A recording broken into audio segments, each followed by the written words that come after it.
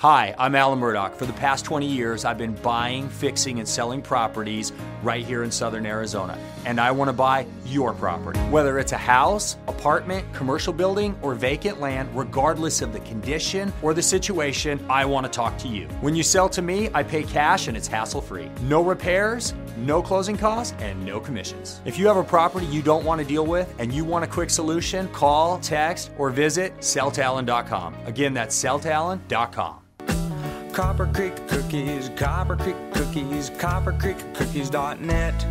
We can print anything on our soft vanilla logo cookies. We deliver them and other sweet treats locally. We are located at 4249 West Ina Road, Suite 121. Call us 520-300-1131. We bake smiles. Copper Creek Cookies, Copper Creek Cookies, CopperCreekCookies.net. Hey everybody, welcome to the Local Marana podcast. It's been a couple weeks, but we got a new episode. I'm glad to jump in. I'm happy to be here as the host. My name is David Samorano. I'm on some other programs you might have seen on Live the Dream Media's podcast network. I also help with directing and some other stuff. I have a, a friend of mine that I've known for a, a long time, Long right? time, yeah. Probably a decade or more. And uh, he has jumped into business ownership. And Yes. we're going to talk about that. And we're going to talk about growing up. And you're from Marana. So Marana, it yeah. seems appropriate to have you here Yeah. on the local Marana podcast. Yes. And I want to thank you again for being here on this Monday morning that we're doing this. And yeah, thank you. it's great to have you here and introduce yourself so everybody Yeah. knows who you are. So my name is Brett Bratton. Uh, I'm owner of Bloomin' Blinds here in uh, Tucson, Marana area. Uh, yeah, and I think we've known each other for probably almost two decades, actually. Yeah. I didn't want to say it. It makes sound old. we yeah, we getting up there a little bit, uh, middle age for sure. Yeah. Uh, but yeah, I'm I'm happy to be here. Thank you for having me. Yeah. Um, it's a pleasure to have you, like I said, man. And you know, you're doing the Bloomin' Blinds. What is that? So Bloomin' Blinds, well, it's a franchise, but I own it locally. Um, I we do window coverings, pretty much all things window coverings. Uh, blind shades and shutters is kind of our bread and butter, but we also do like drapery, uh, exteriors, roller shades, uh, and we repair them as well. Okay. and that that's kind of one of the things that sets us apart from our competition out there. Uh, there's another uh, blind company in Tucson that does it, but uh, for the most part, most of them don't Yeah. touch repairs. So. So it's just you and somebody else that's doing this in this market right now? that does repairs. Yeah. So sales, everybody does. yeah, oh yeah, for sure. But the repair thing. Yep. Yeah.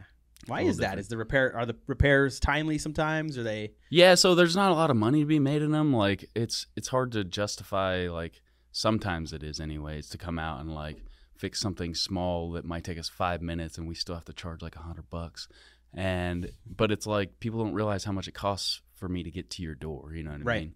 The marketing for you to find me, uh, the time, the insurance, the the gas, all of that plays into it. And so I mean, there's not a whole lot of money in it, but we still do okay. Yeah. Uh, repairs are more for like the long game. You know, we're gonna come in, we're gonna do a good job, uh, we're gonna fix your blinds, give you more time, and usually when we're coming in, it's like it's getting close to You where you sell. have to Yeah. to replace, and hopefully we build some rapport, and hopefully the customer is willing to give us a shot at selling in the future. So it's kind of a long game Yeah. strategy. Absolutely. Yeah. Smart. The repair's good. It's a good way to do lead generation. Yeah, yeah. a real good way Uh, it keeps us busy too. So. Yeah. Yeah, for sure. It's not always going to work out, just like everything else, right? Oh yeah, of just like- course. I mean, there's definitely stuff where we come in and we can't do it. You know, Yeah. Uh, parts are obsolete because the blinds are 30 years old or whatever. Yeah. uh, or it's just a repair that we just can't do. You know, Mhm. if uh, somebody tears a fabric on a shade, there's nothing we can do Yeah. for that. So how do you end up doing this? Because this takes some Yeah. balls. Yeah, right? yeah. So- uh, I mean, let's talk. Let's talk about what you were doing before this. yeah. So I know I, you were telling me about the casino or something, but Yeah, let's even yeah. go a little further back and okay. like start talking about your career moves and how you end up in this. Yeah, sure, sure. So, uh, I mean, we went to high school together, Yeah. graduated Marana. Played Uh, football, go Tigers. yeah, that's kind of a rough a little season. bit, yeah. we weren't that great, but it was still fun. uh, yeah. Um, so I graduated. Uh, after high school, I went and worked for a vending company right out of high school. Uh, so filled vending machines, Mm-hmm. uh, which right out of high school I was making great money back then. Um, so I was doing that. I dabbled in college, realized that that wasn't for me. Um, I'm not. I'm not. I mean, I didn't do that great in high school either. Although my grades were good, I I don't feel like it was my jam. Yeah. So, anyways, I was like, okay, working on my working man's PhD. Let's go out there and and work. What did you say? You Work- working on your what? Working man's PhD. It's a country song. Oh, okay. Yeah, yeah, No, that's a good. That's good though. yeah, yeah. Because here's here's the deal. I talk about this all the time, man. yeah. And you were in school the same time I was. You were sold on the idea. Go to college. Go to get college. a loan. Yeah, yeah. Don't worry. Get a loan. You can pay for it this way Yep. and all that stuff. You didn't do that. I didn't do that. No. And you said working man's PhD. There's something to learn from being in the workforce. yeah, yeah. I agree. hmm Learn dedication, commitment, hmm right? Accountability, Responsibility. responsibility, All that ownership. Yeah. being punctual, yeah. all that stuff, right? That's real important. It is. Yeah. Tools. I mean, it's it's equally important. I think a lot of times college degrees companies are looking just to see if you're a responsible person. Mhm. Can you can you complete something? I don't think a lot a lot of times they're not even they don't even care about what you learned. It's Yeah. all about you know were you responsible enough to get get your degree. Yeah. Uh, but I mean, of course, I mean there's value in that, of course, too. So. Uh, I'm not knocking on anybody that went Yeah. to college. Yeah, same here. But Yeah. I, I think that the people that go and get the working man's PhD or working woman's PhD do get knocked. Yeah, You they know do. what I mean? That, that, that's obvious to me. Yeah, Right. It I- I, think often. I think the biggest knock on the working man's PhD would be uh, people that go out and they stay in the same position. They don't strive for better. They Mhm. don't they don't try and move up or Yeah. or transition. Uh, I think that's the biggest knock on on that. Yeah. Uh, and I th- I can see that where that could be a problem too. So Well, I, I would say that, you know, if, if people aren't wanting to do that, that's on them, and it, you're Yeah. get there's a consequence. Of course, it. It's like yeah. everything, right? it's, Like, well, it's just like going to college and Yeah. and getting a degree that doesn't give provide any value. Yeah. You know, it's the same thing. I think the I think the thing we're seeing right now in our culture is people doing that but expecting more. yeah. Yeah. Would you agree that that's pretty? That I, I think that yeah, like- I think a lot of the younger generation comes out and they yeah, entitlement is like entitlement. It's a big deal. Yeah, We're- it's we're- tough. we were talking. I did a podcast last week with the owner of Pitch Rocks Heating and Cooling, Oh yeah, Ron Arenas. I'm sure you know. I know. Yeah, and uh, his son Alex, and we were talking about the trophy generation because when you and I played football, that wasn't there, no, yeah, right? But um, I went back and started coaching there hmm a couple, a couple years later. But Oh, like cool, towards the end of my tenure, started seeing the the trophy generation come into the football program. Uh, yeah, well, the, to- the trophy generation isn't only the kids that are affected by it; it's the parents too, because Right. the parents brought that about and they allowed that to happen. So now you had them in the workforce, and then you have the parents that's true. pushing the entitlement. But but you said it, man. Like, not to no offense to the younger generation, but like the idea that you're gonna come out here and get everything right away. Yeah, the world doesn't owe you anything. It doesn't owe you, and it Anything. and it won't. Like, yeah, I mean, your, your mama always happen. love you, but that's about it. the, the world doesn't isn't gonna love you. It's just the way it is, yeah. especially if you're a man. I feel like, but I mean, that's my opinion. I, don't know. Well, what? Why you say that? I, I I feel like um Don't be scared to say it on here. We're not regulated by the FCC, so No, I feel like I feel like women tend to get a little bit more love from their friends and family. You know? yeah, Uh, men are expected to uh, thrive, yeah, and when they don't, you know, it's uh, they don't get sympathy. I Mhm. guess yeah, uh, not always, you know, but I think it's a, a common factor where men feel unnoticed or uh, unloved. Mhm. You know. yeah. Uh, but not always, of course. You know, there's always exceptions. But Well, something's going on. Yeah. because right now there's seven and a half million men that are able to work in this country that are refusing to work and not working. that's kind of a scary number. Yeah. Yeah. Yeah. Again, It it's is. something we talked to I talked about on another podcast. Um, Mhm. and I think it was even brought up on probably one of Joe Rogan's podcasts or something like that. But so you're saying that uh, there's a lot of unnoticed going on. There's not a lot of love going on for for in. So I, I another I thing think, is the, the don't know. suicide rate's pretty high for guys right now, Yeah, so especially men in our age group. men have it. That's kind of a, a rough thing for men to deal with Yeah. because, uh, you know, men a lot of times lack that sense of purpose, Mm-hmm. and I think that enti- entitlement mentality uh, leads to like not having a purpose, and that I feel like that corrupts, you know, the mind Mm-hmm. of a, a man. I I don't know. This is all speculation, of course, but yeah. it y- so right like listeners remember we're not doctors or psychologists here, but what we're talking about is from life experience and what we're Yeah, seeing and yeah. feeling and So the I feel like- conversations we have with people. I'm sure. Yeah, yeah. So I feel like these these men that are might be entitled come out and they they expect the world to love them. They expect the the world to give them everything, and then they come out and they're like they're not receiving that, and then all of a sudden, and this could could be true for women too, but uh, I think women can find a lot of purpose in in having like kids and stuff like that. Men tend to derive purpose out of like what they can give to the world or Mhm. or what they can provide to the world or their family or whatever Yeah. and uh, yeah, I think that when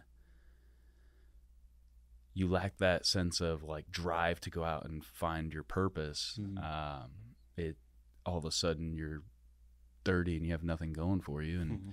and you have no experience or life experience because you've been playing video games or whatever it is, and uh, or you end up into drugs or something like that, you know, and I think that's very detrimental, in my opinion. Yeah, for sure. No, hey, there's there's correlations between what you're talking about and the statistics that are here. Yeah. And I've had some conversations with some pastors and stuff like that, things they're seeing, um, especially like a college pastor was talking about. Yeah, there's really like a there's an entitlement thing for sure that I think it's impacting, and I think it, I think that goes. I think that goes into our culture, and Mhm. Kirby hit on it. Kirby's directing, uh, so listeners, there's somebody else here helping us, and he's like the immediate gratitude culture, and Yeah. he's younger. So how old are you, Kirby? He's 22 years old, and he's telling me that in his year that he's seeing that, right? So this immediate gratitude and immediate uh, Yeah.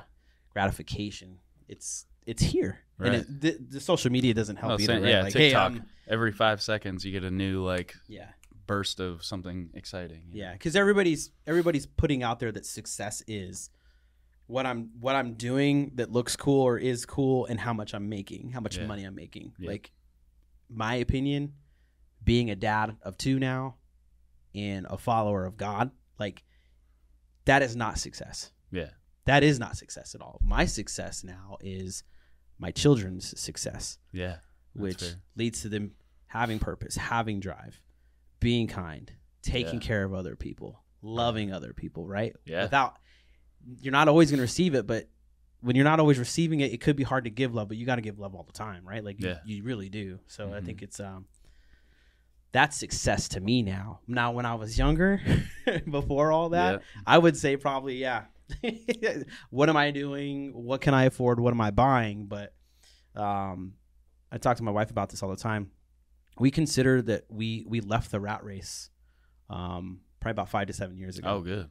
we That's left awesome. it, right? Yeah, Because most people are in it, yeah, and you know what I'm talking about the Oh, rat course, race, yeah. right? Like, Mhm. and then keeping up with your neighbors and what they have and all the nice stuff. You know what I mean? Like, we left it. yeah. We we uh, we made a move with real estate and we did some cool stuff and paid off a bunch of debt That's using awesome. Dave Ramsey and some other stuff. And out. So when you think about Yeah. success now, like what do you what do you do at that point, right? Like Yeah. you're like I'm not sitting here saying, "Hey, we're rich, we're loaded," and everything. No, We- yeah. we're out of the race because we don't awesome. need to be it no more. Yeah, So I think um, we could say that like that instant gratification, that success model yeah, is bullshit. BS, right? It's BS. It's totally BS. Yeah. It's not. I, not I agree, and. I think that's the main reason why I made the moves that I did to to get involved in this company. Yeah, let's get back on Uh, that. I yeah, took us yeah, down a no, road, but it was a good. good road because Yeah, you had a lot good of good road. insight, man. yeah, Thank you for yeah. So, uh, uh, I mean, making this move is my attempt to escape the rat rat race. So I, I'll kind of go back a little bit. I worked at a vending company for seven years, Mm-hmm. and I saved my money and whatever. I bought a house real young, um, not a nice house, but it was a house, and and uh, I lived there for like eleven years. Uh, I bought it when I was twenty because I was making good money Good, right out of high yeah. school, and uh, lived there for 11 years eventually um, ended up kind of getting lucky and, and going and doing a class at the casino they were offering uh, the casino has native preference so uh, native americans get automatic preference they get hired before anybody else no matter how well they do in the class and when i signed up for the class uh, there was i think 12 or 14 native people and uh, there were 12 or 14 openings Mhm. uh, for the casino for dealing cards, uh, blackjack, whatnot. And I went in and I was like, well, I'll do it for fun. You know, I Yeah. li- I liked I kind of like gambling a little bit uh, for fun. I'm not bad about it. uh, and um, you know, I've always played with like poker with friends growing up and things like that, and I always found it, you know, fun. And I've been good. Yeah. I'm, I'm good with arithmetic. I wouldn't say I'm good with math in general, but You know, like arithmetic. Man. No, no. but uh, yeah, I'm I'm I'm decent at it. So I I took the class and I did it for fun. And a, couple weeks prior to me the class ending, uh, something happened to where some dealers ended up losing their jobs, and it opened up a bunch of spaces. And uh, there was like probably 50 other people that were non-native in the class, and I was like one of uh, 10 that were chosen or something Nice. like that. So uh, I got really lucky there. Got on with the casino. Was saving my, you know, kind of saving my money there, and and uh, you know, if you don't know it, d- dealers make casino dealers make pretty good money. And uh, well, anyways, they were building another casino up in Glendale, Mhm. uh, Desert Diamond, and they offered me a job up there. And new casinos are big money for dealers, uh, and so it was an opportunity. And so I sold my house, moved everything up there, um, got an apartment not far from the casino, which was really nice. And uh, probably like six months into working there, uh, the lockdown hit, COVID lockdown, Mhm. and um, yeah, so I I uh, was sitting in my apartment all alone, you know, overthinking Yeah. and going. Yeah, my my original plan was to go up there for five years and then come back Yeah. and the whole That got COVID cut a little short, Yeah, huh? yeah. Uh, it got it got cut real short. Um, the the casino life, like, it sounds fun and it is fun at first, dealing cards, uh, but eventually it turns into like tedious, uh, almost uh, mind numbing, and eventually you start noticing like the deterioration of people and things of that nature. What do you mean by that? And like people Senior coming in, yeah, seeing seeing people coming in like, uh, you know, initially. Well, most people don't realize is like when you walk into a casino, it's packed. You think these are just all random people. A good majority of those people come in all the time. What would you say the percentage wise estimate? I, I don't know. I would say probably half. Damn. Half the 50%? fifty per. May, maybe it's Yeah. less than that. I don't know, but it, maybe it's a cognitive bias. But I think that uh, uh, there's a lot of people that are repeat customers and come in there all the time, and Mhm. and some people, you know, they lose everything, you know, eventually, and it's really sad in that regard. On on top of that, there was no sense of purpose when I was there. There was no sense of growth.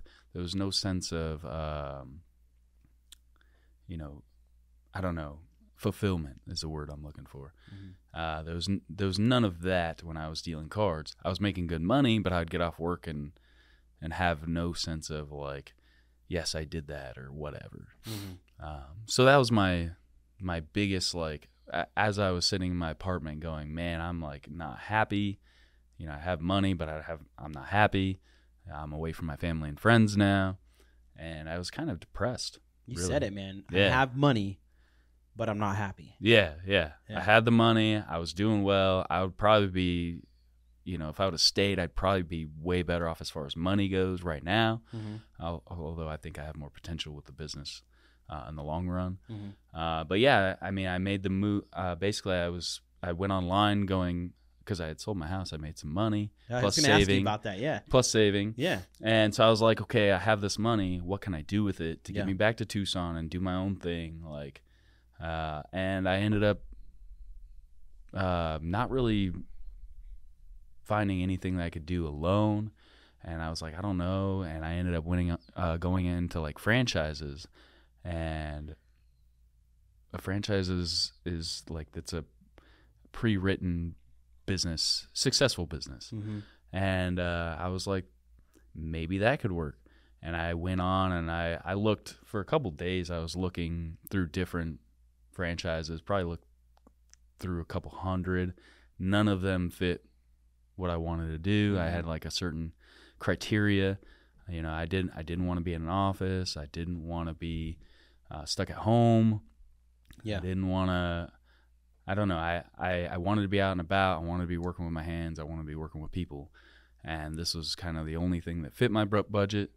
and um, fit all my criteria. Uh, was Bloomin' Blinds, and it was the only one I called. And I ended up talking with the CEO for like four hours. First day I called him, Yeah.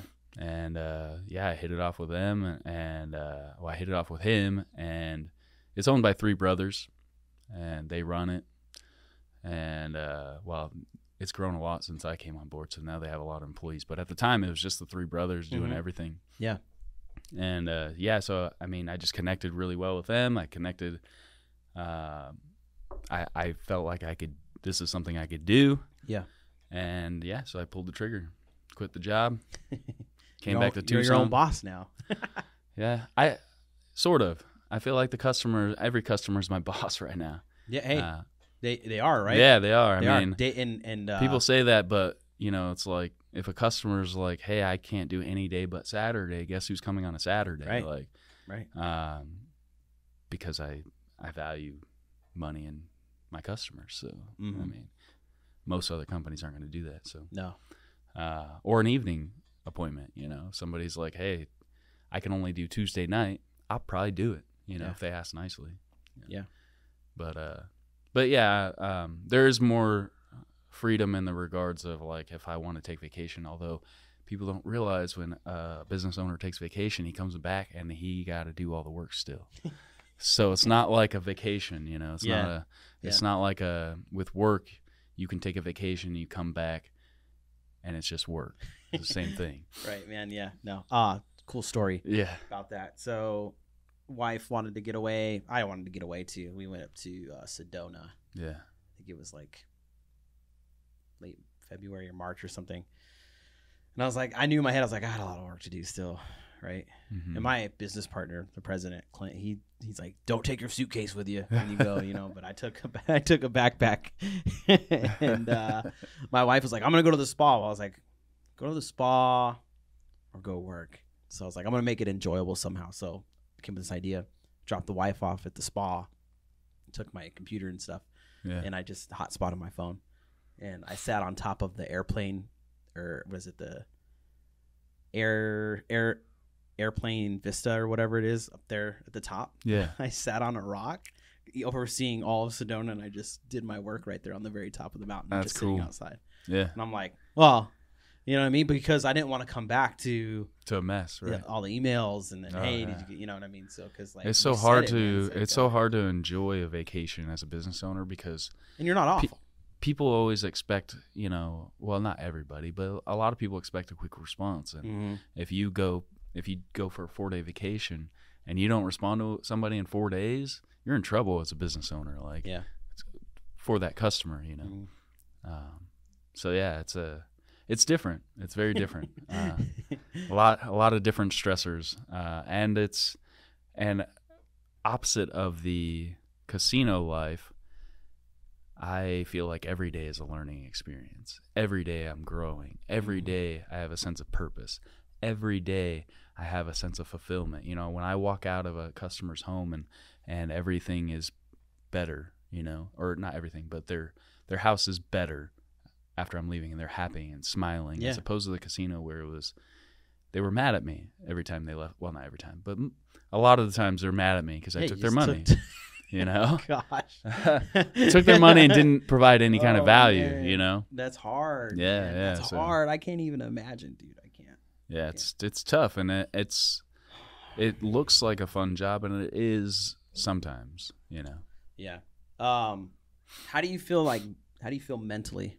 mentally, How do you Uh. feel like uh, with, yeah, with like your like your emotional being being your own franchise owner? Do you feel a lot more clarity in it? no, uh, I wouldn't say clarity. No, that's not that's not what I got. No. What you got? Uh, I mean, uh, there's a there's a roller coaster of emotions every Always. day, every day. but yeah. th- you know what, dude? You don't even. I don't know if you realize it, but that's why you like it. Yeah, probably, yeah. yeah. You like the rush, don't you? yeah, I, I mean, yeah, You get those big wins. You're like, yeah, I got yeah. I mean, it, it is it is a Then you don't hear to a for, like, point. it is a game. You know, you go out and you're you're trying to not you're not trying to manipulate people because that's that has a negative connotation, but you're trying to you know, build rapport really fast. You're trying to convince them that you are trustworthy, Right. and uh, you and you're trying to convince them that your product is going to be something that they're going to enjoy. Mm-hmm. And uh, a lot of that is a game to a point. You know, you're trying to do your best strategy Right. to uh, make the sale or make them like you or Mhm. whatever it may be. And every day is like you're trying to critique yourself. You're going, you're going, you're leaving that appointment going, man, I should have said this, or maybe I should have said that, or I don't know. And then when you do leave and you got the sale, you're like, you know, you, you get that rush of excitement, you know.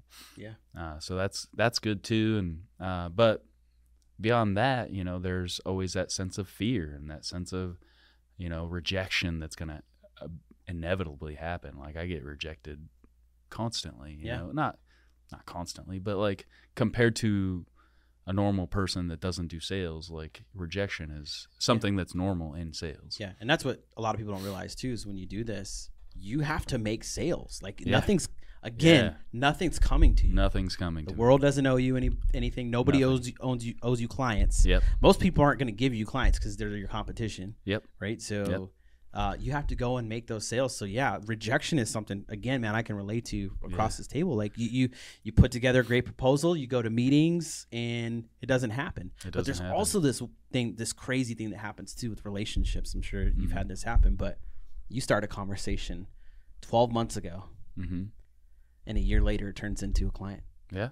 That happens. That does happen sometimes. so, yeah. and so you're in this like you're in uh, what would you you're in limbo yeah. until Yeah. until. But you know what? You know. They call that pipeline sales. Yeah. So like you're you're constantly feeding your pipeline Mhm. uh, with everything you do. Really, you're Yeah. trying to feed that pipeline of potential sale down Mhm. the road. And uh, yeah, I mean, I've definitely had where you know I had a chat with somebody about it, you know, a year ago or whatever, and then all of a sudden they're calling and and I'm going in and and doing my thing get Yeah. the sale or whatever. You know? Yeah. Yeah. Uh, that that definitely happens. Right. I don't know. So how long you been doing this now? Three years, almost a little over three years. Yeah. There's this uh, old myth that five years is like this That's tipping the, point kind of thing. That's the tipping point. where you like either Either go or you stop. That's scary. Yeah. yeah, but I mean, it's I don't know how true that is. You know, I, I- mean? I think it's true to we're entering point. year four here, Yeah. so you and I kind of started not too far off from each other. Yeah, yeah. I, I definitely think that there's some validation to that. Uh, I de- I feel like even three years in, I feel like I'm still volatile. Like I Mhm. could I could fail. You know, uh, I don't want to fail. I don't plan to fail, Yeah, but it could happen. Um, you know, I haven't exploded. You know, yet. you know that explosion thing, dude. Let me talk about this. Hold on. Yeah. Let me try to think how I'm gonna word this. I always envisioned the big, like the big sale or like the big client is like this um, confetti falling from the sky.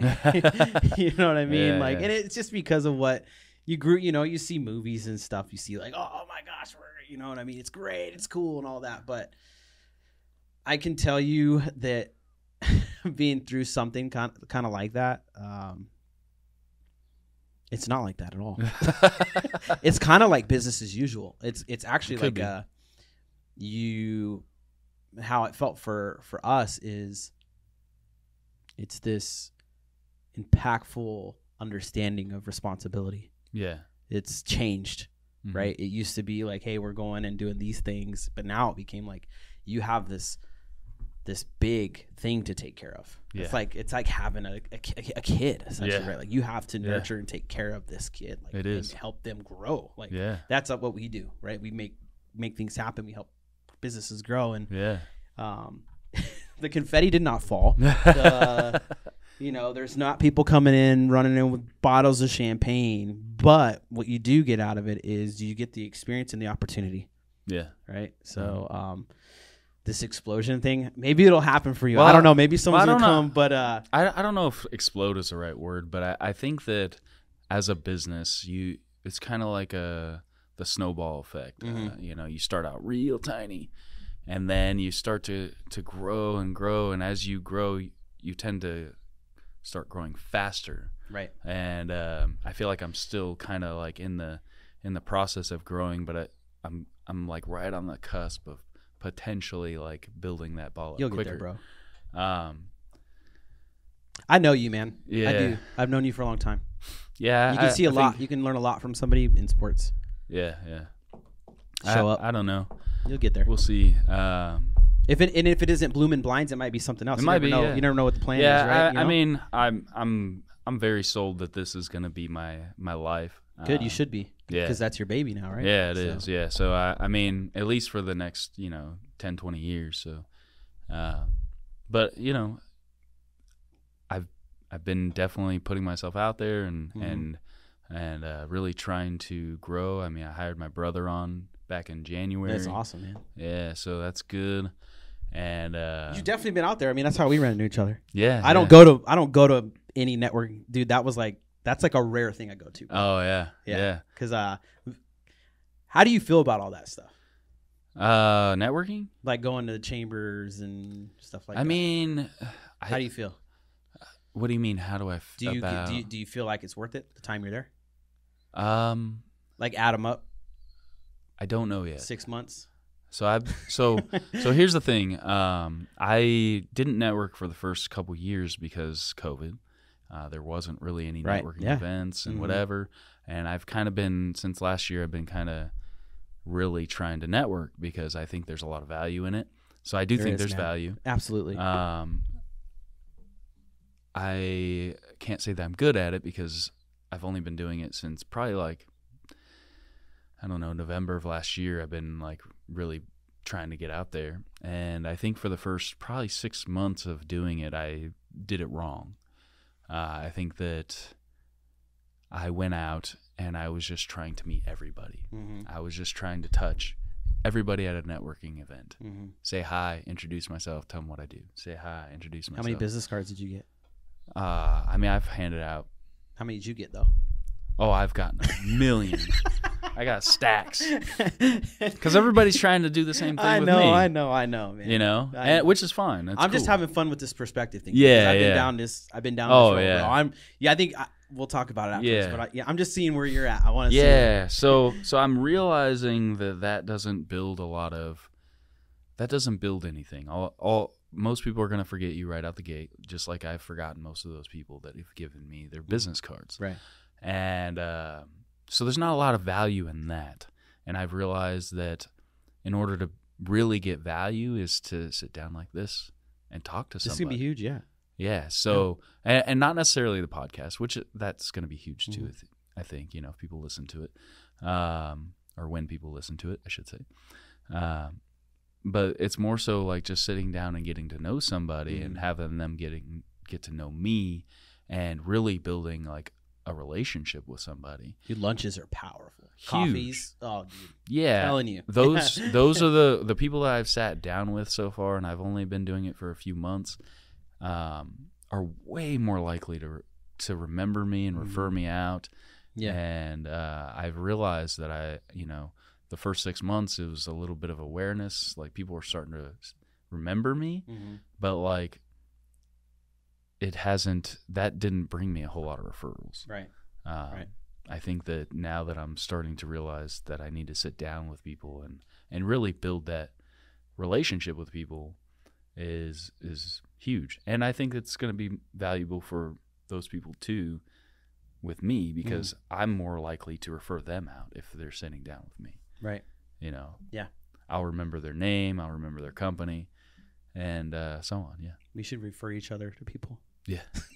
I will, man. I, I, I will. I just haven't gotten the opportunity, man. I No, you're found- good. I think as we get closer to like next summer, we'll probably have a couple, but I might even hit you up. Yeah, cool. Um, but uh, yeah, man. I the same thing, dude. I went to a couple like events, and I'm like, this ain't my gig, man. Like, you know, it was uh, and no respect, no disrespect to them. They are Yeah. they're they're they're perfect for what they're supposed to be. Yeah. And uh, what I found out was I was leaving. Even the young profession, the young professionals one, dude. Honestly, that was probably the one that I was uh, I've never been to that taken by that was not very good. Oh, okay. And it was uh, Like we went somewhere. I'm not gonna say where we went and who was involved, but basically we went somewhere and it was just a lot of like.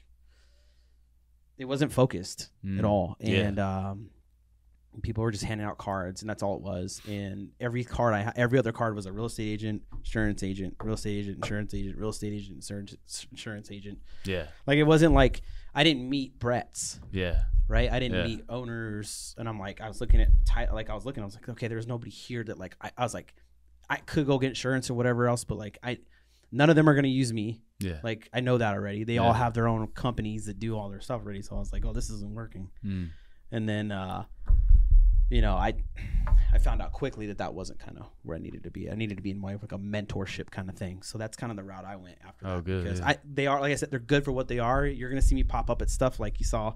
We so if it, nobody knows this, but we saw each other at the Marana Pumpkin Patch um, For the ribbon Marana, cutting. Yeah, Marana Chamber held a ribbon cum- cutting. Yeah. Yeah. So um, we really we love John Post and what he does, Yep. and we really support him. And we were out there, and we support the chamber too, and what they're doing. But um, yeah, we were just out there because we've done that every year. Is go to that event for sure because Yeah. it's so so Marana oriented, and we own is. local Marana.